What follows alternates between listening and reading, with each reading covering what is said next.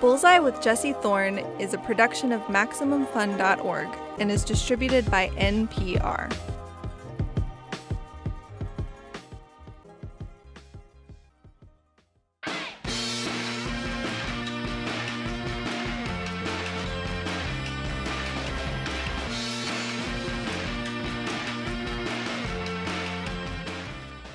It's Bullseye.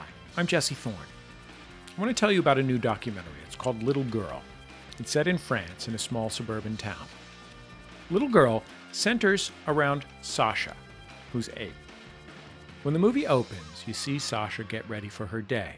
She's just put on a sequin dress. She fusses with her hairband. She tries on a silly hat, takes off the silly hat, then goes out to play in the snow. In the next scene, it's Sasha's mother. She's talking with a doctor. She tells him in French, Sasha is a little girl. The doctor starts asking pointed questions. How do you know? He uses male pronouns for Sasha. Sasha's mom walks the doctor through all of it.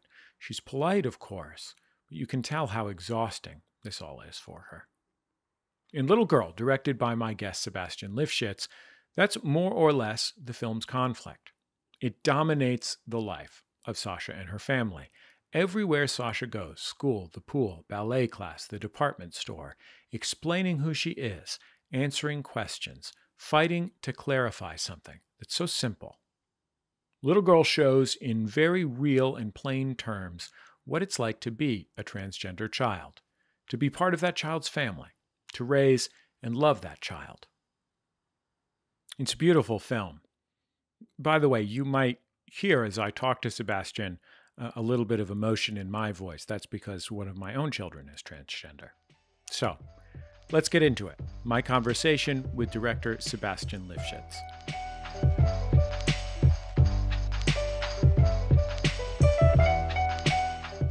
Well, Sébastien, welcome to Bullseye. I'm so happy to have you on the show. Hello. Why did you want to make a film about a transgender child and their family? Well, first of all, I would like to say that I'm French, as you can hear, and my English, you know, is not like uh, fluent, but I will try to do my best. It's better than my French, Sébastien. okay. So the idea of the film came from a conversation that I had with Bambi, not the character of the Walt Disney movie, of course. Bambi was one of the first French transgender women in France and she had uh, an amazing life. And I did a film portrait about her. And I remember she was born in 1935, so a long time ago in Algeria. And I remember during a conversation with her, I asked her when she realized that she was a woman, if there was a, a special moment, a specific moment where it was like obvious for her that she was a woman. And she answered that for her, she she she didn't have a kind of uh, revelation at a very specific moment. You know, she always felt as as a kid that she was the other sex. You know, she, that she was a, a woman born a, as a, as a boy, and so I realized that. Uh, so you could have this this feeling, this uh, this certainty when you uh, when you are a kid, you know, and I didn't know that at that time. I thought like like a lot of people that uh, dysphoria, uh, the trans identity uh, could normally appear during puberty or with the beginning of your sexuality, and of course, it has nothing to do with this. And so I've realized at that time during that conversation that you could be a very young kid and have this uh, certainty of your identity that you are the other sex. And so I thought that it could be a very um, great idea, you know, to make a film about that, just to find a kid with his family and to make a portrait during a year of his life and to see how it goes, you know, with, with his family, with his brothers and sisters, with his friend at school, everywhere. Because I remember when I started to do the film, well, to have this idea first, I didn't know any film that was a, a, a trans kid uh, from that age, you know, very young age.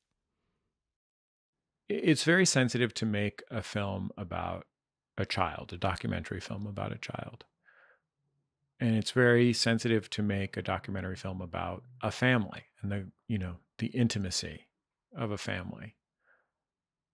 And the fact that you're we're making a film about a child who was transgender, you know, amplifies that sensitivity.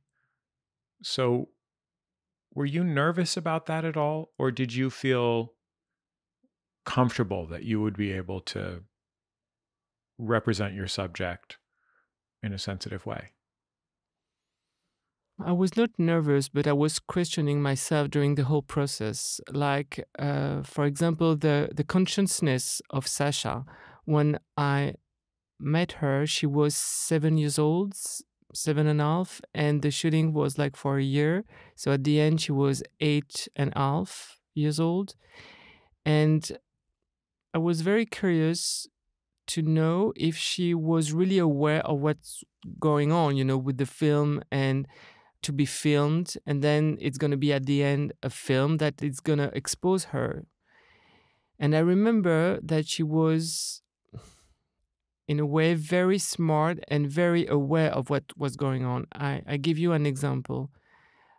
One day I asked her at the very beginning of the shooting, Do you think it's possible that I can go to your room and film you there playing with your toys. I knew that the, this room was really special because she wasn't able to invite anybody in that room for many years because it was full of uh, girly toys and her clothes, and it was her kingdom as she named it.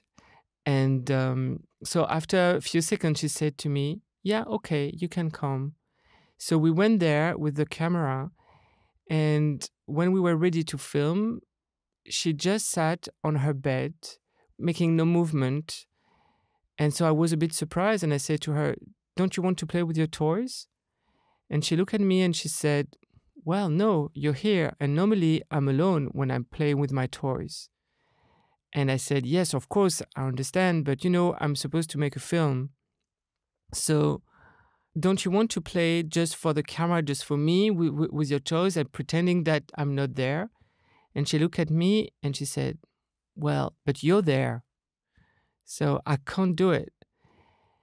And so I was a bit disappointed, you know, um, for like few minutes. And then I realized that she was so smart because it was a way for her just to tell me, I'm not going to act for you.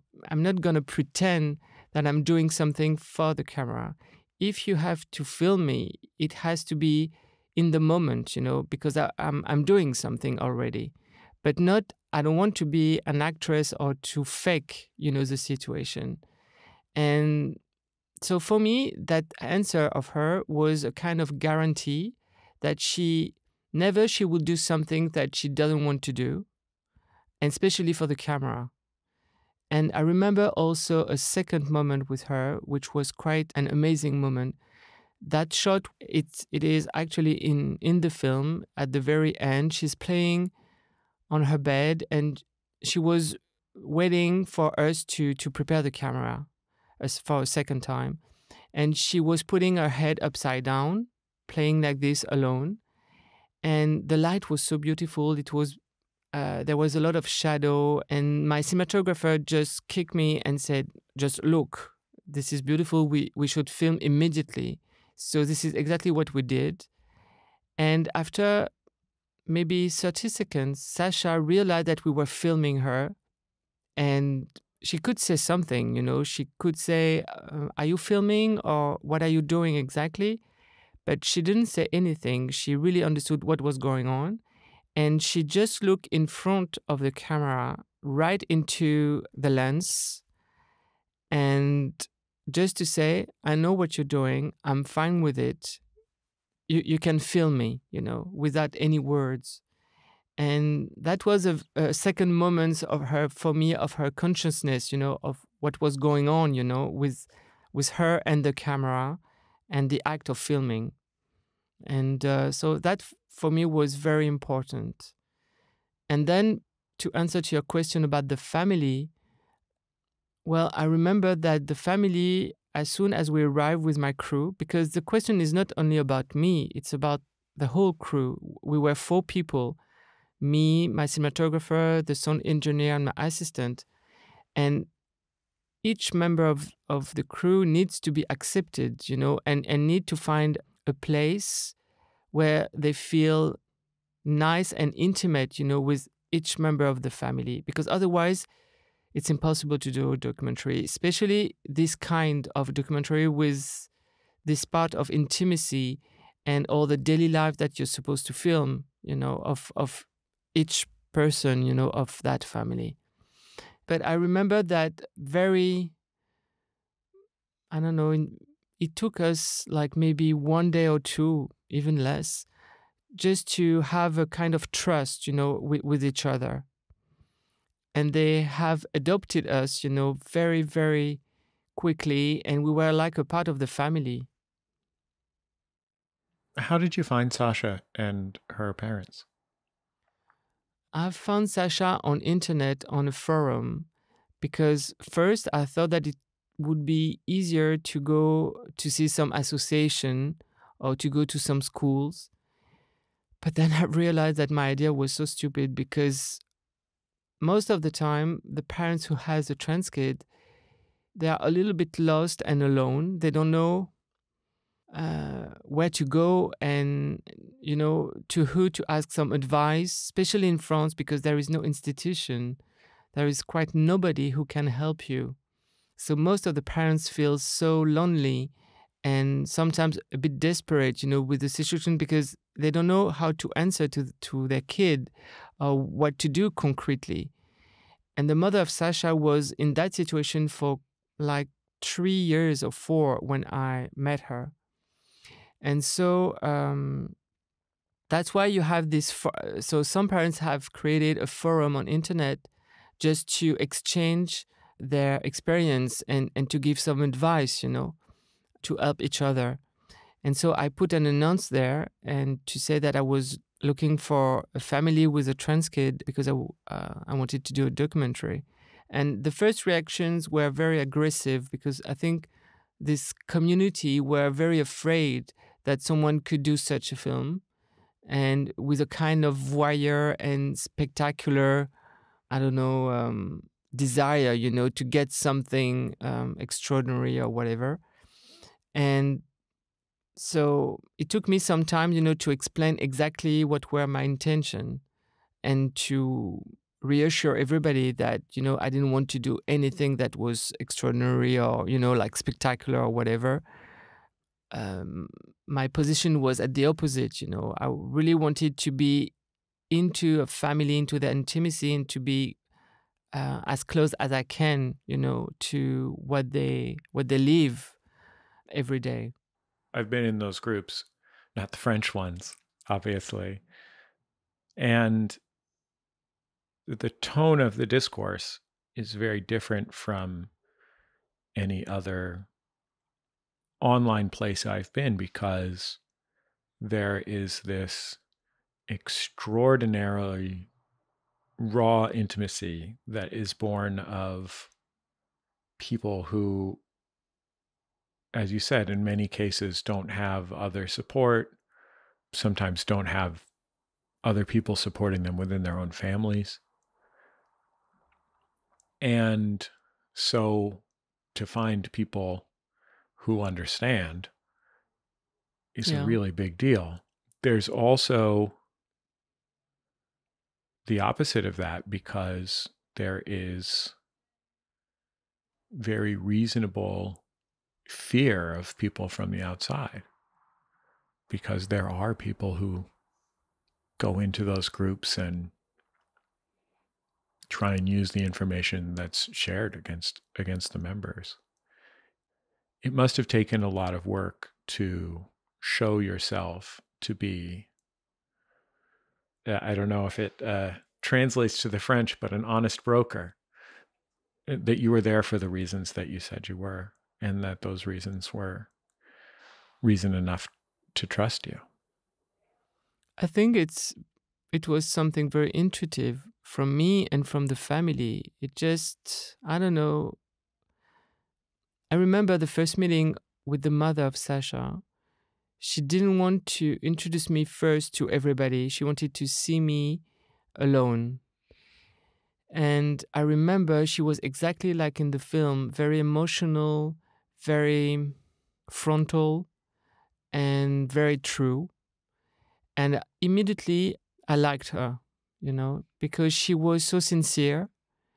And probably she felt something. I mean, I cannot talk for her, you know, but probably she felt that she was in trust uh, with me and I could understand her because for like three or four years, she was so alone with absolutely no possibility to speak to anybody. And um, she was, in a way, a bit desperate with the whole situation because all the things that she that she has done with her kid was intuitive she, but she wasn't sure if it was the right things to do the right answers to give to sasha. And also because of the school the school was so problematic for her and with sasha. So at one point you know she she she wasn't sure with everything. And so she was questioning herself like all the time. And for the first time when we met she had someone in front of her that was not judging her and i was full of comprehension and empathy.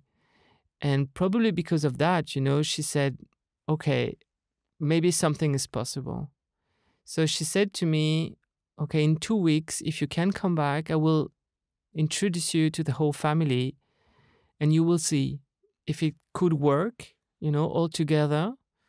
And i said to her you know i will be delighted of course to meet everybody but don't be afraid you know there is no obligation from myself and from you you know. Everything is open. And if you don't want to to go further there is no problem. And i remember the first day when i arrived in that house it was for a kind of tea party with cake. Sasha was very shy. She was uh, hiding herself behind her mother like a little cat you know and she was really sweet and i wasn't pushy you know? I i, I was patient and little by little after maybe maybe one or two hours she came and talked to me and i don't know very easily she was i think she felt secure and interest too i think. And my first impression with that family was the feeling of love that was something really really strong. You know normally when you arrive in, in a house full of kids you can hear them shouting you know it's full of rivality and and you know and it's sometimes you have a kind of tension. But in that family i don't know everything was kind of everything was peaceful. And you could feel really in the air there was something that was between everybody full of um, yeah love and protection. And i've realized that probably because of the situation of sasha her brothers and sisters have learned how to protect her. Really to build like a shield around her for years. They were so aware of the difficulties at school and even outside that they had this attention all the time with her and that was probably i could feel that love you know surrounding her all the time Even more with Sébastien Lifshitz after the break. Stay with us. It's Bullseye from MaximumFun.org and NPR.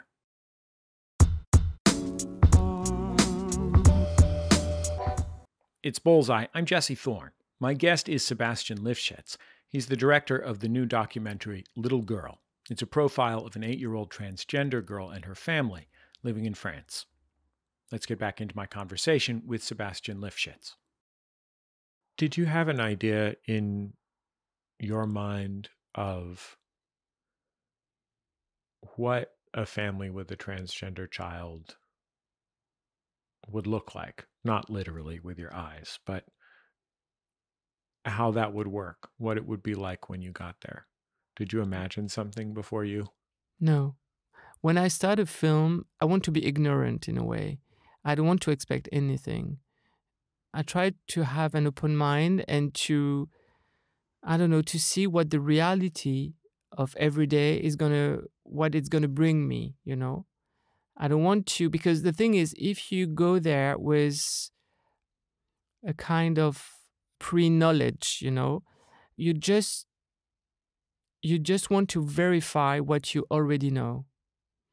And this I don't want, you know. I prefer to discover and to live the moment and, and not to get something that I already know. So I had absolutely no idea of what could be a family with, with a trans kid. Maybe the only intuition I had was a kind of, for me, because it could happen everywhere, you know. So a kind of traditional family. There was something actually that I didn't want. It's to get a family from a big town, you know, and for me that was important to be in a in a kind of modest family, uh, from you know, from the working class, with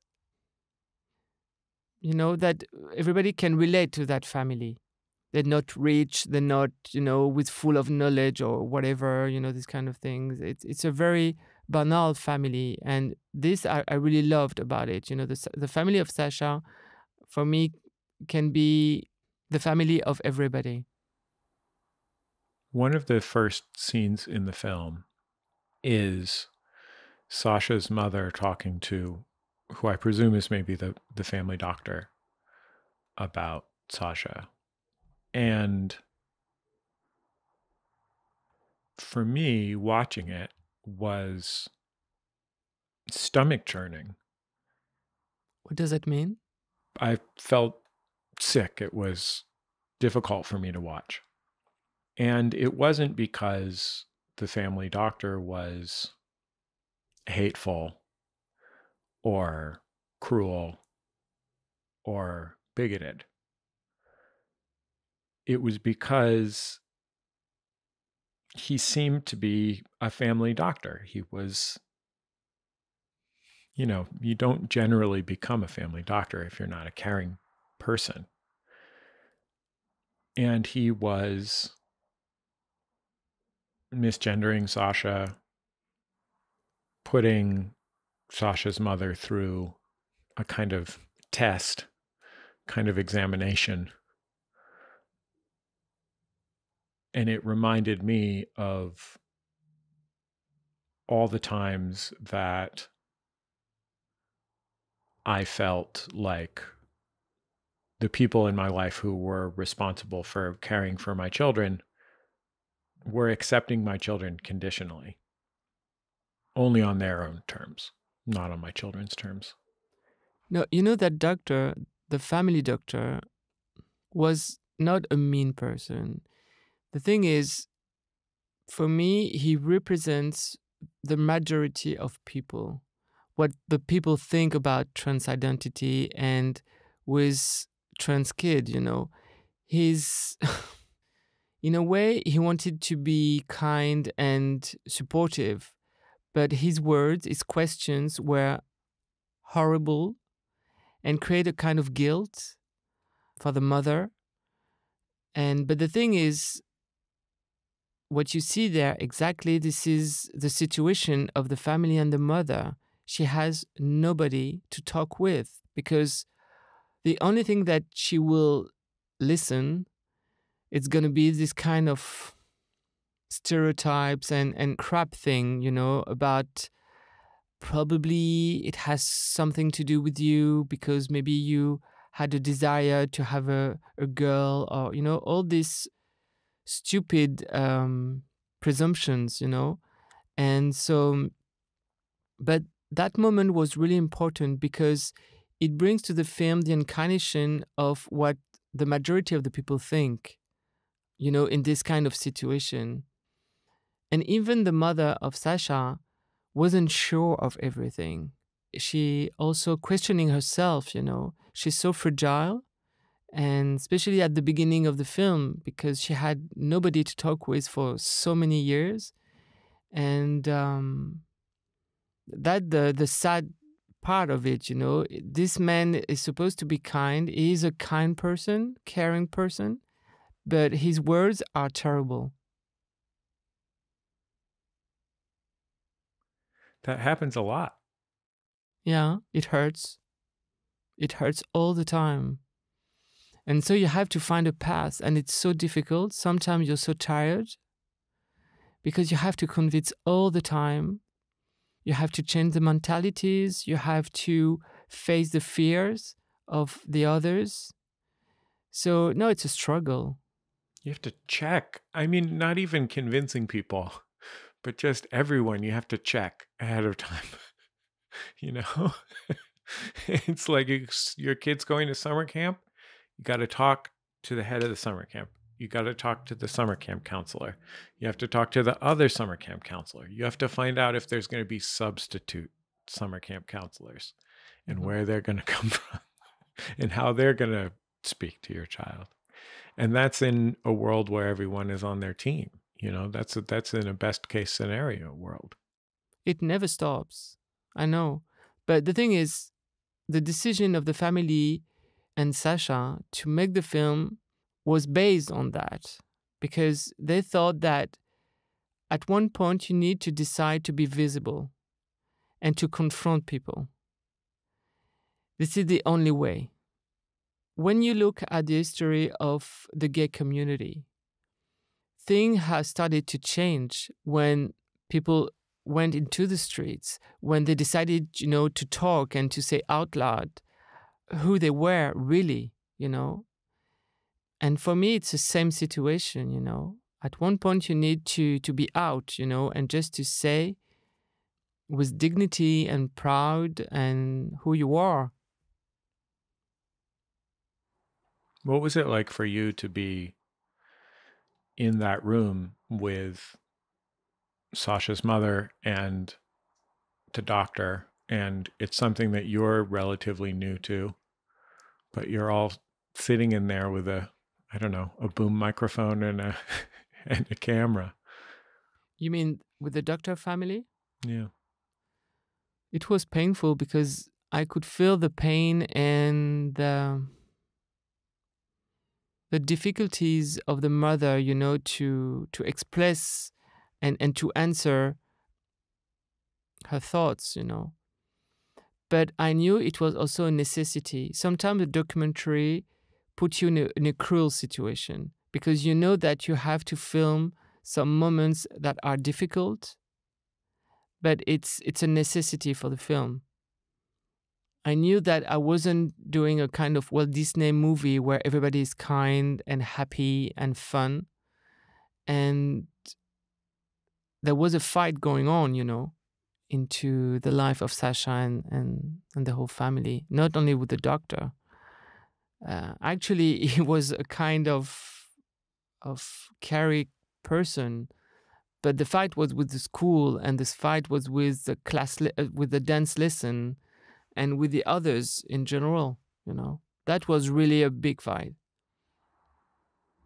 When you first talked to Sasha and her family, before you started making the film. Did you talk to them about why they might want to have their lives documented? Well, they said exactly what I told you before that they felt that I think they were really fed up about the fight that was going on with the school for like one or two years. And at one point, I think the mother and Sasha said, okay, how can we change things, you know? Because the reality of Sasha, as soon as she was at home, was peaceful, was obvious, was there was no problem. So she couldn't understand as soon as she was out of her house that it was a kind of nightmare, you know, that she had to live with fear. And something was stolen from her. That moment of life, you know, when you are so young and with no defense, you know. and she couldn't be like the other kids, you know, and and to be at ease and and happy and and to tell exactly what was her feelings, you know, with herself. So she had to live in a secret place. And that for her was really painful. So probably they felt that they need to to break the bubble, you know, the the the family bubble and and go into the fight, you know. That was enough, you know, enough is enough. And probably that was the moment where they met me. Yeah. There's a beautiful moment in the film where Sasha's mother and father are talking about meeting with the principal of Sasha's school, who has been maybe not actively hostile to them, but has been presenting as many barriers as he can to Sasha's gender being affirmed in school. And there's just this moment where they've gone to see a a gender specialist. They've had to travel to Paris to do it to get a letter because he asked for a letter. And he said, Well, we, I have the letter and I'm looking forward to seeing him. And if he doesn't like it, I don't remember exactly how it's translated, but she basically says he can stick it. you know, like she he can shove it.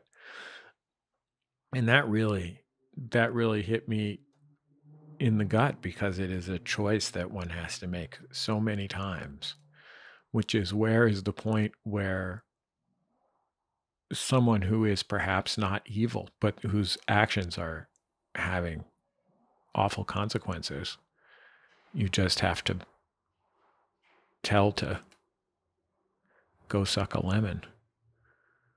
I keep using English language aphorisms but it's such a moment in the film.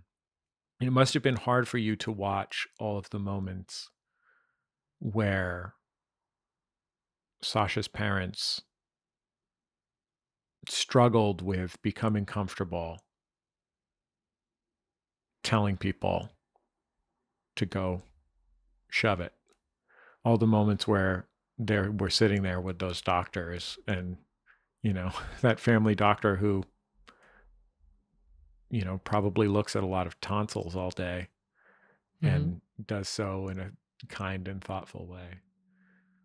Because dealing with those in between people is so hard. Like the horrible trauma in the dance class, which happens in the film. Well, that's a bad guy, you know. That's that's easy. It's easy to tell a bad guy to go mm-hmm. stick it, but it's a lot harder when somebody is getting you caught in their in between.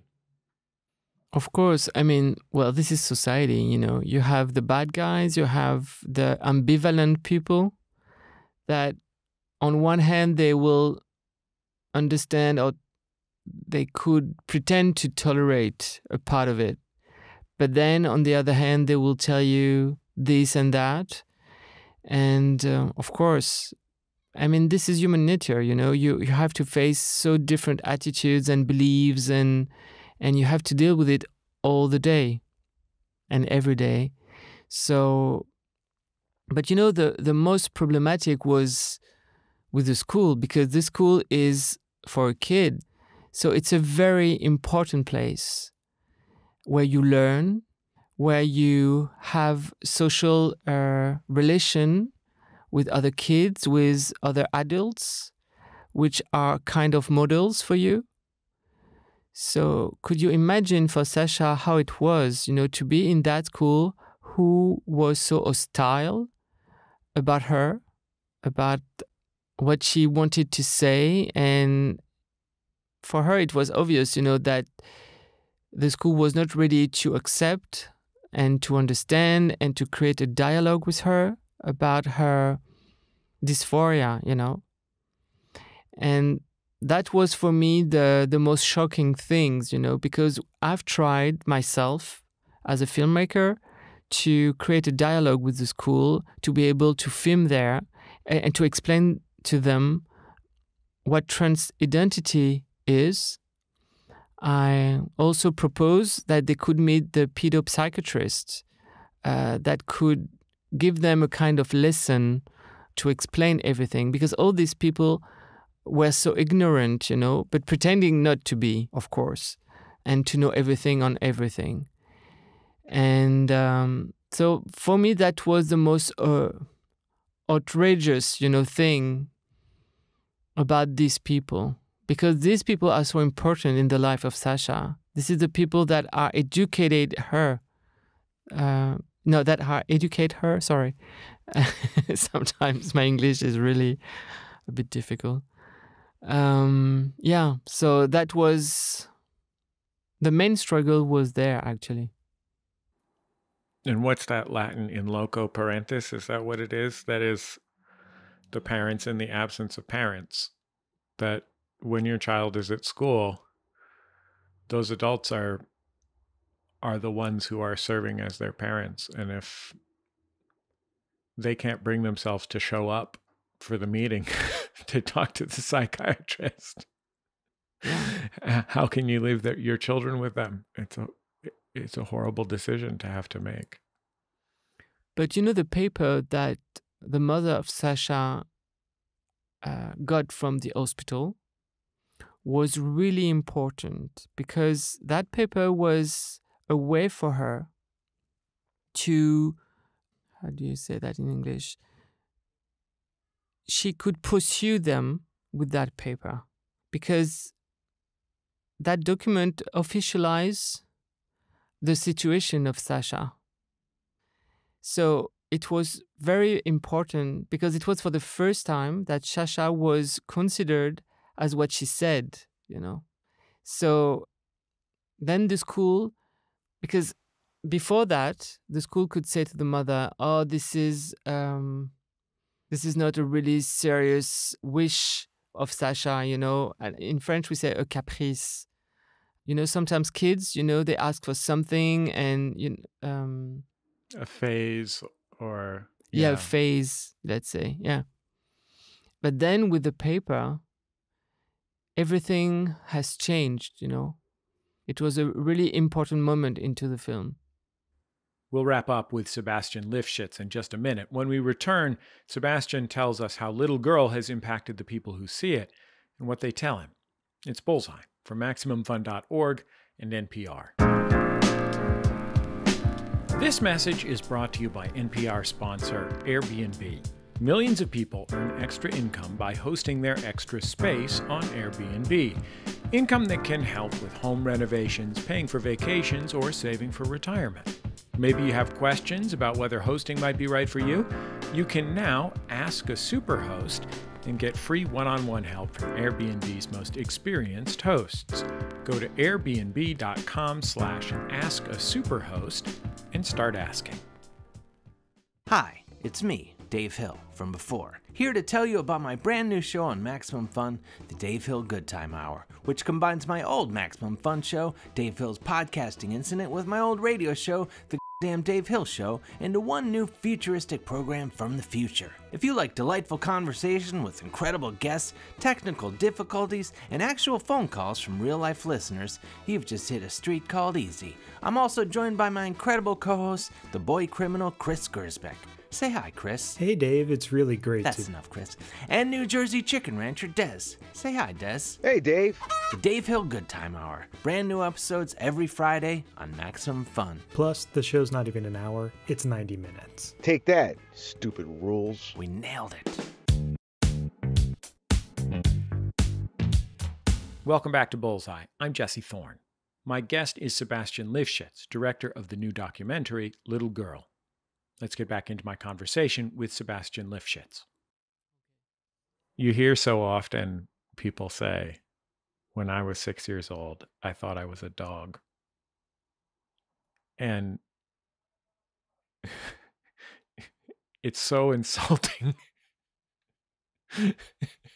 and so it's the most sickening, just enraging thing to hear from someone when I was six. I thought I was a dog as though children make these decisions about their lives first of all as though it is a decision and as though children make decisions about their lives the same way that they make decisions about what pretend games they play. It's not a question. It's just a thing that happens, and it's made me so mad. I'm sorry, Sébastien. I'm not used to doing, a, you know, it's an arts and culture interview show. I'm not used to doing things that are so uh, that are so close to me. Okay, but I see you are emotional with this with the subject. I understand. But you know, I can tell you something about Sasha. Maybe that could be important for you. Is that during the filming, Sasha was obsessed with all the signs of femininity. It was for her. I mean, the colors, the type of toys, uh, different type of plays, and you know. And after the film, when she has been accepted as a girl at school, her mother told me that she was less obsessed with all these signs and she was more into a kind of fluidity that she was okay to wear blue colors or to play with boy games you know these kind of things she was more confident you know and she didn't have to to say uh, so much the person she is. And that for me was something very positive in a way because Sasha was able also to um, to accept, you know, to be I mean to do something that a girl is not supposed to do and and not to feel threatened, you know, by that, you know. And she could do whatever she wants. Now she knows who she is and and she has been also considered as that person. So that was a very beautiful um, conclusion in a way. That happened with my daughter when when she transitioned. She would only wear pink and purple. and I don't I don't really like pink and purple. I was like, can we wear some other stuff? and you know, that faded with time and I I I think you're absolutely right that you know, a five year old or a six year old or a seven year old only has so many ways to tell the world who they are. They only have a certain understanding of how to express to everyone this thing that is so central to who they are. And when the stakes are no longer so high, when telling everyone their gender identity is no longer the single most important thing in the world to them because people around them are supportive of their gender identity. So it's not a big deal. It, it changes the it changes the equation very much. Yeah, absolutely. Yeah. What did you not expect to see that you saw? What did you not think even was um, was going to enter the picture that surprised you? There was something a bit magical about that shooting there was some moment of grace, of synchronicity that I was really amazed. You know, I remember I was in the garden and Sasha was playing there, and then she took a, a kind of water full of soap, and she's she has tried to make some bubbles, you know, in the air, and then she wanted just to uh, to get that these bubbles in the air. And the moment was so poetic and so magical. And she had a kind of grace, you know, just to move her hands and to look at the bubbles in the air like that. I don't know, this kind of little moments, you know, of nothing. But for me, these moments were everything because you could relate to her. You could be so close to her because I was obsessed to translate her inner life, you know. And um, and this moment were, for me, a way for her. To, I mean, to to show who she was, you know, these kind of things. And also, I remember the first meeting with the pedopsychiatrist. Sasha was so excited, but also she was scared, you know, to talk to that doctor because she wanted so bad to be considered as a girl and And she felt like this doctor had this power just to say, you are this or you are that, you know. And it was so scary for her. That's why, you know, that moment was so intense for the mother and for her. You know, that my presence or the presence of the camera didn't count for anything. You know, she was really, she put her eyes into the eyes of the doctor at that time. And she was lucky, you know, to to meet that doctor actually, because Dr. Bargiacchi was a very comprehensive and and wonderful doctor, you know. Not at all pushy or she was really she was uh, very full of empathy which is not common you know for pedopsychiatrists they're not all like that Yeah. and um, so it was a very important moment for her It was moving to me to see that psychiatrist accept Sasha so comfortably on Sasha's terms. There was no telling, there was listening. hmm because the idea is is to create a connection this is a moment of discussion and as you say of listening and the first meeting is so important because this is the base you know of what the relation is going to be you know And you're right that a pediatric psychiatrist is not always the listener that you wish they would be. I'm not going to name any names, Sébastien, but that's not always how it goes. Of course. I mean, when you look at the history of what happened to so many transgender uh, people, person, you know, they have been fighting with the psychiatrist uh, world uh, for so many years. And yeah, of course, you know, they, in French, we say uh, that le passif is um, is huge. Like uh, the the history is is is difficult. Right. There's a lot of baggage, we would probably say. There's a lot of baggage. Exactly Yeah. that. that the words I was looking for. Yeah. I mean, I think if you're transgender, whether you're a child or an adult, you're used to having mental health be used as a weapon against you. Of course, and they have a so strong power on you, and this is impossible in a way that they have the power to tell you who you are and to help you to become uh, physically also who you are, and it's a huge power actually.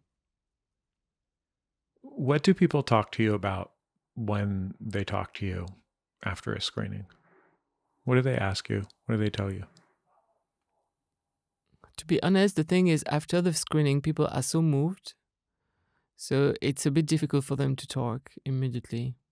And I was really surprised that the film in France could interest so many people. When the film was broadcast, more than three and a half million people have watched it. Wow. And that was, I mean, that's a big number, you know, for France and especially for a documentary film. So I was really, really surprised. I, I was not expecting this at all. And I understood probably that the film was about a lot of things, not only trans identity, it was also, the film was also questioning what is femininity, what is masculinity, what is, what are the models and the pressure that we feel since we're kids with this uh, model of identification? And are we really free to be who we are? Or do we conform ourselves all the time to those models that um, society has given us, like every day, on films, on with toys, with at school, everywhere? And probably the new generation wants to question that, you know, Well, Sébastien, it's a it's a beautiful film. I'm very grateful for it, and I'm very grateful to have you on the show. Thank you so much. Thank you. Sébastien Lifshitz. His movie Little Girl will be released digitally on November 16th. It's really beautiful. If there's a gender nonconforming child in your life, uh, my family has received caring and invaluable guidance from the folks at Gender Spectrum. Uh, they provide resources and training around gender in kids, not just for families, but also teachers and doctors and mental health workers and other professionals. They're online at genderspectrum.org.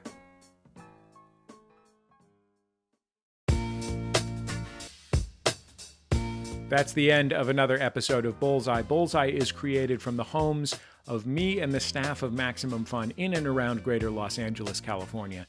In my neighborhood, many houses have dragon fruit plants trellised across their front yards. They are these extraordinary long cactusy things, and they grow the incredible, almost science fiction fantasy ish dragon fruits on them, and those dragon fruits are starting to turn red and come ripe. And I'm hoping I can scam a few from a neighbor. Maybe they want some of the grapefruits that grow in my backyard. Our show is produced by Speaking Into Microphones. Our senior producer is Kevin Ferguson. Our producer is Jesus Ambrosio. Production fellows at Maximum Fun are Richard Roby and Valerie Moffat. We get help from Casey O'Brien. Our interstitial music is by Dan Wally, also known as DJW. Our theme song is called Huddle Formation. It's recorded by the group The Go Team. Thanks to them and to their label Memphis Industries for sharing it with us. You can also keep up with our show on Twitter, Facebook, and YouTube. We post our interviews in all those places. I think that's about it. Just remember, all great radio hosts have a signature sign off. Bullseye with Jesse Thorn is a production of MaximumFun.org and is distributed by NPR.